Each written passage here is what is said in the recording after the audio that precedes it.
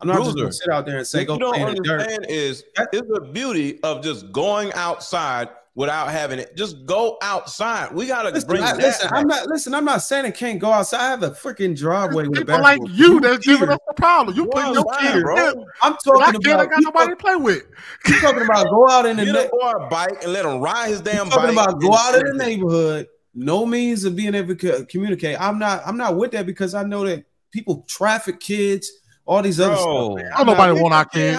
Let me tell you something. Hold on, real, real quick. I'm not taking risks. I don't have. I don't have the mentality to take a risk like that. Like, Listen, let me just say this. Yeah, no. That's being afraid. You're teaching your children how to be afraid. If you're afraid for your kids, no, your child not. is gonna grow up to be afraid. So let me tell you this. My kids had. I gave my kids like 10 speed bikes, not a little bikes, right? And the reason why I got them 10 speed bikes, even before that, I taught them how to ride when it was little. A 10 speed bike, you know, the bar be down instead of straight across, straight across so they can get on it.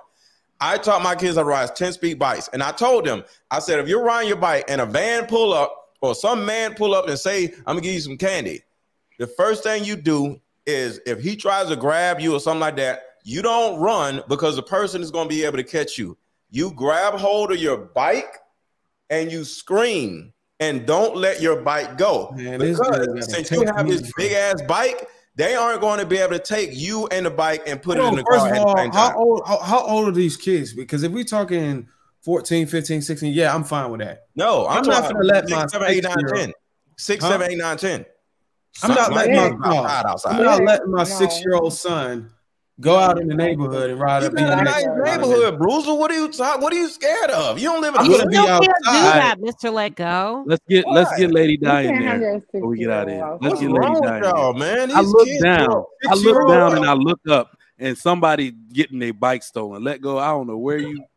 Uh, let's get lady. Let's hold on. Hey, hold on, your, hold on, wait. Hey, miss, hey, Trigger Mike, they steal your bike. They ain't stealing your kids. Don't nobody want our kids. Ain't nobody ride through our neighborhood trying to snatch up kids. That's not true. Hey, it's, a lot of black, it's a lot of black little girls missing right now. And it's, little boys. It's actually an so epidemic, dude. Yeah. Give your daughter a, in Atlanta is probably the worst. In the area I'm in, it's probably the worst. Yeah, everything is the worst in Atlanta. Just traffic in and out.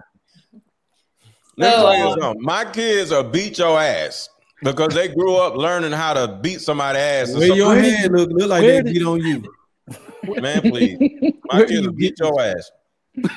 Real so, shit. so, my so my daddy will beat your daddy. Is this, is this what we've been reduced to? Die. Please give us a dose of femininity here. Okay, so I grew up in a not so uh, pleasant environment. I'm from the Bronx. I don't know if I ever gave that insight, but I'm from the Bronx. So I grew up, I was able to go outside back in the day um, because my parents taught me how to protect myself. Now, if if somebody because you can't to me like I should have been sheltered then. Where I where I grew up, I should have been sheltered because you walk outside. I mean, it's fair game, right? But I they they didn't do that because they just taught me what to do. Be very observant. I can't go outside, you know, in la la land, not knowing where I'm going, where I'm coming, left, right. I had to actually watch myself, watch my surroundings. Now they didn't throw me out there at a you know at a young age. They waited until I was mature enough. All right but that was in that environment. I grew up in the South as well, and it was the same thing. There was this, it, like people could snatch you anywhere. It don't matter where you at. That's what I'm trying to say. Now, when I started my family, me and my husband were raised in like a, you know, not so good neighborhood. So what we did was, um, before we bought our house at the time, we looked at the criminal background. You go on, you know, Zillow or whatever site that you buy your house from. You can even ask your realtor, hey, right you know, right, crime rate, all of that. It's all on the internet. See, we didn't have all of that back in the day, but everything is so resourceful. It's on the internet. You could look in your neighborhood, the neighborhood next to you, the neighborhood next to that, and see where pedophiles, all these different type of people you don't want around your kids to see where they live. They live places. You can see where they're at. Are they around your places? So what we did was we we picked places that didn't have none of that, right? Now, okay, cool. That's step one. Step two, look at the house that you're buying. If you're not buying a new house and you're buying a used house, look at the, the, your neighbors. Your neighbors been there before you bought the house. So if you don't see kids or it's not going to fit what you want to do, then you shouldn't buy that house. You got to buy a house if you're starting a family. You got to buy a house where there are kids around. You see kids playing. That's part of the vetting stage when you're buying a property. If you choose not to do that, then that's okay. It's not nothing wrong. But then it's kind of like, well, I'm not having my kid go out. Okay, but then they're not going to get the same dynamic we did growing up. A lot of us were outside playing. They're not going to get that. They're going to be stuck on the internet and becoming couch potatoes before they're an adult to decide to be a couch potato. None of us want to marry couch potatoes. None of us should be couch potatoes because we're not going to be productive. So I do understand the fear because I'm the same way. Even in the safe neighborhood that I live in right now, I still kind of like, well, today is not all the same like it was. Exactly. There are more people. Yeah, there are more people. There's scammers out here. So it is, I think it is more dangerous um because there's more websites that you can, you know, uh, pick on children to, to manipulate. But at the same time, um, I'm echoing. Let go. That his, he just purposely interrupt like that. At the same time, we still just have to, I guess, vet before we move into a space. And if you don't allow your child to go outside, you should have friends for these kids. They still need to be able to interact and communicate because that's all the goal is. We go outside, communicate, but you go outside, you get street smarts. So it just depends on your, you know, your your your way. But I do think you still should let your kids communicate with other kids, whether it's outside or inside.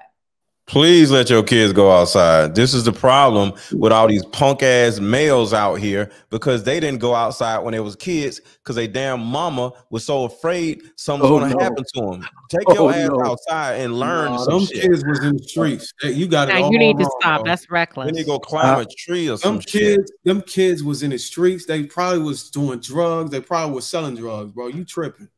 Y'all know, act right? like they're not Amber Alerts. Y'all act like they're not predators. Stop it. Stop misleading people. There needs to be a balance.